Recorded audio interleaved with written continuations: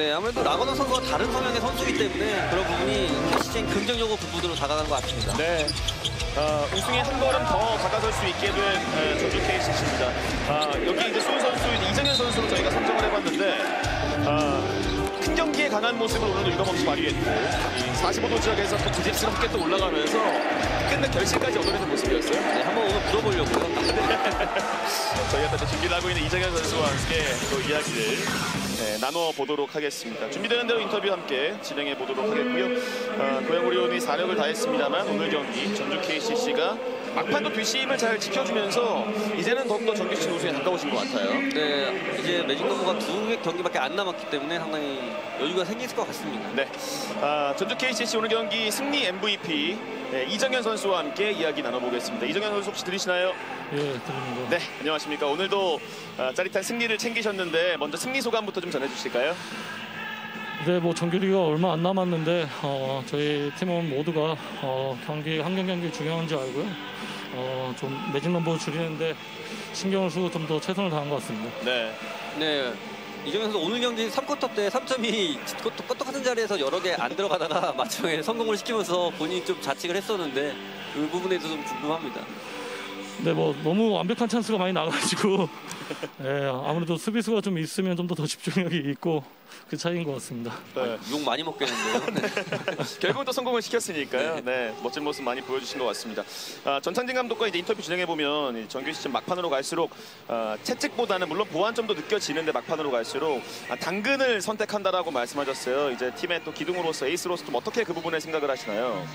네, 아무래도 저희 팀의 주축인 선수들이 어린 선수들도 많고 경험이 조금 적은 선수들이 많기 때문에 감독님께서 어, 좀 질책보다는 칭찬을 많이 해주시는데요.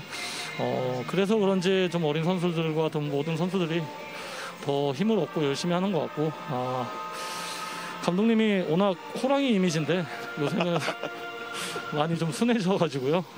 네, 조금 더 칭찬을 많이 해주셨으면 좋겠습니다.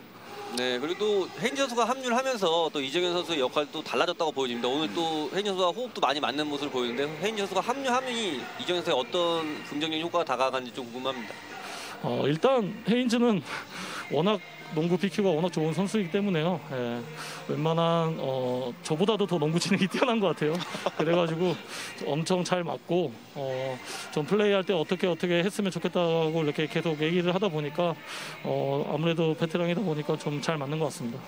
어, 이제 이후 일정들이 에, 상당히 그네도 좀 수월해진 것 같습니다. 이제 지난 일요일 KDC부터 현대모비스, 오리온까지 상위권 이제 세 팀을 모두 제압을 했는데 아, 물론 방심하시지 않겠습니다만 앞으로 이제 매직 넘버를 줄여감에 있어서 조금 더 수월해진 것 같아요. 좀 일정에 대해서 어떤 각오로 임하실 건가요? 네, 사실 저희가 상위 팀한테는 엄청 강한데 하위 팀들한테는 좀, 어, 좀 고전하는 경우가 더러 있더라고요. 예.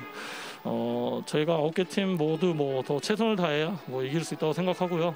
어, 남은 경기 좀 더 선수들하고 열심히 해가지고 어, 하위 팀이라고 생각하지 않고 어, 모두 똑같이 생각하면서 좀 더 경기에 집중하겠습니다. 예. 네. 팬들께 한마디 건네시기 전에 이정현 선수 이제 어, 큰 경기에 강한 모습을 또 유감없이 발휘해 주셨는데 남은 정규 시즌 그리고 플레이오프까지 임하시는 개인적인 좀 각오가 있다면 뭐가 있을까요? 어, 사실 저의 목표는 어, 챔프전 우승이고요. 반지 끼려고 KCC에 왔고 음. 어, 이번에 좀 좋은 우승의 적기라고 생각합니다. 예, 그래서 정규리그 때 좋은 흐름을 이어가가지고 예, 플레이오프 챔프전까지 꼭 좋은 모습을 보여가지고 어, 우승의 기쁨을 한번 더 누렸으면 좋겠습니다. 네, 어, KBL 또 스타다운 멋진 포부까지 만나볼 수 있었습니다.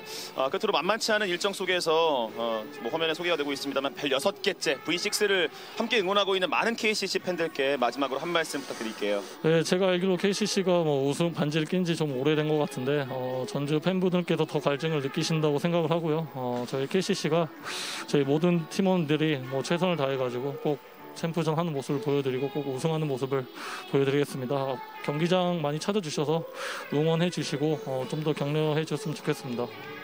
네, 오늘 인터뷰 감사합니다. 네, 감사합니다.